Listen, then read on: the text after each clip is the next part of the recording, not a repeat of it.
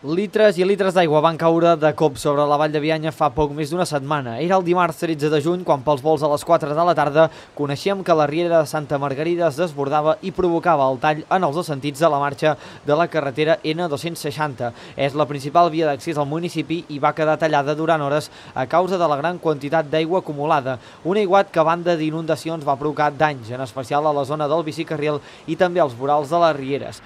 Encara no se sap una xifra exacta del cost que pot tenir a reparar aquests anys que estan valorant els tècnics, com explica l'alcalde de la Vall de Bianya, Santi Reixac. Estem valorant, tenim els tècnics que estan treballant i coses sorpreses que van sortint cada dia, que van sortint que si un lloc hi ha hagut un arbre que ha caigut al mig de la riera, que coses d'aquestes que, bueno, i postos que la riera, doncs, el desbordar s'ha fet malbé doncs, els marges de la riera, bueno, és un tema jo crec que és important i per això els tècnics ho estan valorant.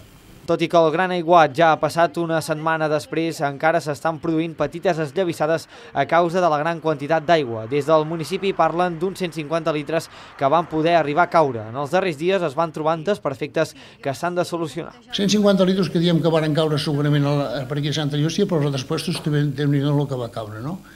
I ara van sortint coses que amb els dies doncs s'està esllavissant o hi ha caigudes arbres, hi ha caigudes de rompudes de que veus que s'hi haurà de fer una paret de pedra, perquè si no les coses s'enfonsen, bueno, coses que van sortint.